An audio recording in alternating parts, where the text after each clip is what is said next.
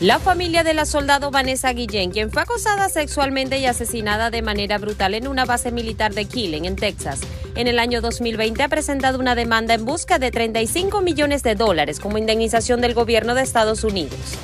De acuerdo con un reporte del diario New York Post, la familia de Vanessa Guillén, quien tenía 20 años al momento de la tragedia, busca una indemnización por acoso sexual, abuso, agresión, violación, sodomía y homicidio culposo, según se indicó en la demanda emitida el viernes. Esta será una oportunidad para que todas las víctimas sientan que no solo tienen una voz, sino que pueden recuperarse, manifestó la abogada Natalie Cowan, quien presentó la demanda en nombre de la familia de Vanessa Guillén, de acuerdo con el reporte del referido periódico neoyorquino.